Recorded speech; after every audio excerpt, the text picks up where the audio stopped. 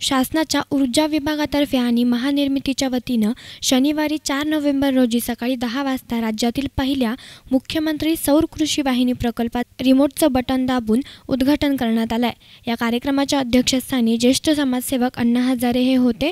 यावेळी राज्याचे ऊर्जा नवीन व नवीकरणीय ऊर्जा राज्य उत्पादन शुल्क मंत्री चंद्रशेखर बावनकुळे त्याचबरोबर पालकमंत्री राम शिंदे जिल्हा परिषदेच्या अध्यक्ष शालिनीताई विखे पाटील खासदार दिलीप गांधी आमदार विजय औटी आमदार शिवाजीराव कर्डिले आमदार बाळासाहेब मुरकुटे आमदार बाबूराव पाचरणे आमदार स्नेहलता कोल्हे आदर्श गाव समितीचे कार्याध्यक्ष पोपटराव पवार माजी मंत्री बबनराव पाचपुते राज्य उत्पादन शुल्क विभागाच्या सचिव वल्सा नायर सिंह महानिर्मितीचे व्यवस्थापकीय संचालक विपिन श्रीमाळी महाऊर्जाचे महासंचालक राजाराम माने विभागीय आयुक्त महेश झगडे विशेष पोलीस महानिरीक्षक विनयकुमार चौबे जिल्हाधिकारी अभय महाजन त्याचबरोबर पारनेर पंचायत समितीचे सभापती राहुल झावरे ऊर्जा प्रधान सचिव अरविंद सिंह आदी उपस्थित होते.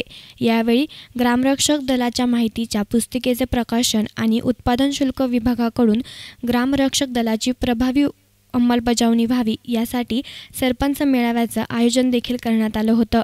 या प्रसंगी मुख्यमंत्री देवेंद्र फडणवीस यांनी असं सांगितलं की ज्येष्ठ समाजसेवक अण्णा हजारे आणि हिवरे बाजारचे पोपटराव पवार यांनी जिल्ह्यात राबविलेल्या जलसंधारणाचा आदर्श संपूर्ण राज्याने घेतलाय. जलयुक्त शिवार योजनेमुळे राज्यातील बारा हजार गावांमध्ये एकवीस लाख हेक्टर क्षेत्र सिंचनाखाली आलं आहे.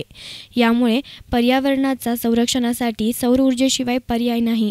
यासाठी सौर ऊर्जा वाहिनी पाणी प्रकल्प उभारून शेतकऱ्यांना कमी किमतीत विद्युत पुरवठा करण्याच्या प्रकल्पाची सुरुवात राळेगणमधून झाली आहे.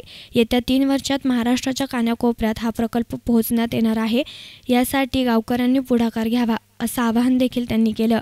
ज्याच्या ऊर्जेनं आपण सगळे जीवित आहोत त्याच भगवान सूर्याच्या ऊर्जेतनं थेट शेतकऱ्याला ऊर्जा देण्याचं काम या ऊर्जादायी गावातनं आज आपण सुरू करतो खरं म्हणजे या राज्याचा कारभार हातात घेतल्यानंतर ज्या लोकांकडनं मी प्रेरणा घेतली त्यातले दोन लोक या ठिकाणी उपस्थित आहेत. एक अण्णा हजारे आहेत आणि दुसरे पोपटराव पवार आहेत.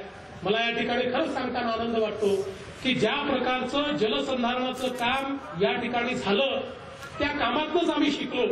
आणि या महाराष्ट्रामध्ये मोठी मोठी धरणं आपण बनवली पण त्या धरणातनं किती लोकांचं आपण कल्याण करू शकलो? ती आवश्यक आहे अनावश्यक नाही आहे पण किती लोकांचं आपण कल्याण करू शकलो? आणि म्हणून अण्णांनी हे दाखवून दिलं की सामान्य शेतकऱ्याच्या जीवनात जर परिवर्तन करायचं असेल तर त्याला पाणी द्यावं लागेल.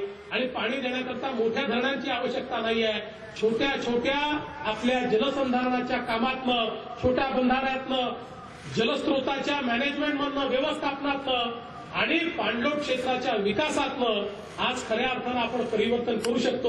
आणि म्हणून आम्ही जलयुक्त शिवार योजना तयार केली. मला आठवतं आम्ही अण्णांची मदत घेतली. पोपटराव तर कितीतरी दिवस आमच्यासोबत ती योजना तयार करताना त्या ठिकाणी बसले. आणि आज या योजनेनं महाराष्ट्रात इतकं परिवर्तन केलं की आज जवळजवळ बारा तेरा हजार गावांमध्ये एकवीस लाख हेक्टर जमिनीला एक वेळचं संरक्षित सिंचन देता येईल. एवढी सिंचन क्षमता ही केवळ दोन वर्षामध्ये आपण तयार करू शकलो. त्यानंतर नामदार बावनकुळे यावेळेस म्हणालेत की मुख्यमंत्री सौर कृषी वाहिनी योजना आदर्शवत कल्पना आहे. यापुढे शेतकऱ्यांना स्वस्तात आणि मुबलक वीज पुरवठा मिळणार आहे. नुकतेच मुख्यमंत्र्यांनी कृषी पंपधारकांचे आठ हजार कोटी रुपयांचे बिलावरील दंड व्याज रक्कम माफ केली आहे. जलयुक्त शिवाराने जलसमृद्धी असलेला शेतकरी ऊर्जा पंपामुळे आणखी सक्षम होईल. यासाठी राज्यात शेतकऱ्यांची पडीक जमीन सौर ऊर्जा प्रकल्पासाठी भाड्यानं घेण्यात येणार आहे. देशातील पहिल्या सौर कृषी योजनेतून राळेगण सिद्धी हे सहाशे शेतकऱ्यांना लाभ होणार आहे. आपलं नाही. पण आज परिस्थिती याची आहे वीजच घ्यायला पैसे नाहीये. बारा हजार कोटी मुद्दल आहे आठ हजार कोटी मुख्यमंत्र्यांनी दंडवाळ बाजूला करून टाकलं. आज महाराष्ट्राचे पहिले मुख्यमंत्री आहे ज्यांनी शेतकऱ्याचा आठ हजार कोटी रुपयाचा दंडव्याज बाजूला केला. शेतकऱ्याच्या विजेच्या बिलावरचं दंडव्याज बाजूला केलं. असे मुख्यमंत्री या ठिकाणी बसले आहे पण बंधून मुद्दल अकरा हजार कोटी आहे. थोडे तरी भरा दहा टक्के तरी भरा वीस टक्के तरी भरा खूप मागितले नाही. चालू बिल तरी भरून टाका. एवढीच मागणी केली. पण पुढच्या काळात फार स्वस्त होणार आहे. साडेसहा रुपयाची वीज शेतकऱ्यांना दिले एक रुपया वीस पैसे शेतकऱ्याकडून घेणे आणि बाकी चार साडेचार रुपये सरकार आणि क्रॉस डेप्युटी भरणे हे नाही परवडणार राज्याला. आणि म्हणून माननीय मुख्यमंत्र्यांनी सांगितलं की गावात प्रकल्प तयार करा. जसं अण्णा हजारे साहेबांनी गावामध्ये बंधारे बांधले त्या ठिकाणी जलसंधारण केलं चार पाचशे शेतकरी एका बंधाऱ्यावर आले. त्याचप्रमाणे आता राळेगण सिद्धीमध्ये जो प्रकल्प होतोय या परिसरातले सहाशे शेतकरी एका प्रकल्पावरती तीन महिन्यानंतर त्या शेतकऱ्यांना सकाळी सहा वाजेपर्यंत संध्याकाळी सहा वाजेपर्यंत. बारा तास वीज मिळेल आणि वीज किती रुपयात मिळेल? दोन रुपये अठ्ठ्याण्णव पैसे. आणि तुम्हाला किती भरायचे? एक रुपये दहा पैसे. बाकी सरकार भरणार. बाकी आपली सबसिडी येणार. मग एक रुपया दहा पैशांनी सकाळी सहा वाजून संध्याकाळी सहा वाजेपर्यंत बारा तास वीज जर नाणेगड सिद्धीच्या सहाशे शेतकऱ्यांना मिळाली आणि पुढच्या दहा वर्षात बेचाळीस लाख शेतकऱ्यांना मिळाली अशी मुख्यमंत्री सौर कृषी वाहिनी योजनेचे जनक माननीय मुख्यमंत्री यांचं जोरात टाळ्या आपण स्वागत केलं पाहिजे. की शेतकऱ्यांना बारा तास वीज देण्याचा निर्णय जो होणार आहे पुढच्या काळामध्ये या सौर प्रकल्पात होणार आहे. त्यानंतर राज्यातील ग्रामीण भागामध्ये जलयुक्त शिवाराच्या कामांमुळे सामान्य शेतकऱ्यांचा आर्थिक स्तर वाढण्यास मदत होणार आहे. मात्र राज्यात जोपर्यंत व्यसनाधीनता स्त्रियांवरील अन्याय अवैध दारू निर्मिती आणि विक्री बंद होणार नाही तोपर्यंत संपूर्ण ग्रामविकास होणार नाही. यासाठी मुख्यमंत्र्यांशी चर्चेनंतर ग्रामरक्षक दलाचा महत्त्वपूर्ण कायदा झाला आहे. सर्व गावांनी ग्रामरक्षक दल कायदा राबवावा. याच्या प्रभावी अंमलबजावणीसाठी शासन सक्रिय आहे. लोकांच्या सहभागातून हा कायदा बळकट होईल. ग्रामरक्षक दलाने अवैध व्यवसायांवर कारवाई करण्यासाठी पत्र दिले आणि अधिकाऱ्यांनी कारवाई केली नाही तर अधिकाऱ्यांवर कारवाई होणार असल्यानं हा कायदा ग्रामविकासासाठी प्रभावी ठरणार असल्याचं ज्येष्ठ समाजसेवक अण्णा हजारे यांनी सांगितलं. सत्तर वर्ष झाले स्वातंत्र्याचे. सत्तर वर्षानंतर हे का घडतं?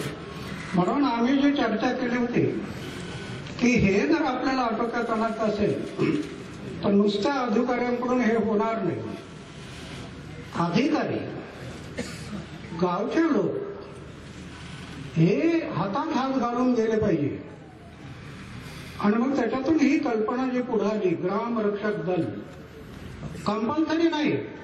ज्या गावात गावकरी म्हणतात आम्ही आमच्या ग्रामसभेमध्ये ग्रामरक्षक दल करायला तयार आहे. आमच्या गावातली अवैध दारू भट्टी पिणारे दोन तीन चार जणांचा ग्रुप पितात झगडे करतात दहशत निर्माण करतात मारामारा करतात. हे सगळं बंद करायला आम्ही तयार आहे. फक्त आम्हाला कायद्याने अधिकार द्या. आणि ही चर्चा ज्यावेळेला मुख्यमंत्री साहेबांची झाली त्यावेळेला बावनकुळे साहेब हे बरोबर होते आणि त्यांनी मान्य केलं असा कायदा आपण करू. दरम्यान राळेगणमध्ये प्रत्यक्ष मुख्यमंत्र्यांना भेटीला आलेल्या नगर तालुक्यातील मेहकरी येथील प्रशांत महादेव कानडे हा मुकबधीर तरुण कार्यक्रमस्थळी संरक्षण कवच तोडून व्यासपीठाकडे धावत सुटला. सुरक्षा रक्षकांनी वेळीच पकडून ताब्यात घेतला त्यानंतर पोलिसांनी अधिक चौकशी केली असता त्याच्याकडे नोकरीचे निवेदन आणि शैक्षणिक कागदपत्रे आढळून आलेत. हा तरुण नोकरी मिळावी म्हणून मुख्यमंत्र्यांना निवेदन देणार होता असं समजलंय. News reporter Sushil Thorat S nine media. Ralegan.